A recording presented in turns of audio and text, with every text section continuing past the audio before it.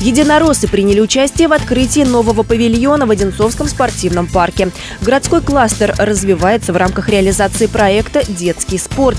Одинцовский парк культуры, спорта и отдыха в 2019 году выиграл смотр-конкурс парки Подмосковья в номинации «Лучший парк культуры и отдыха» и получил денежную премию губернатора Московской области 25 миллионов рублей на развитие территории. За счет этих средств была разработана концепция развития и проведен новый этап благоустройства. Функционал павильона на Лазутинке предусматривает не только продажу лыж и атрибутики, но и в ближайшей перспективе прокат инвентаря и сервис.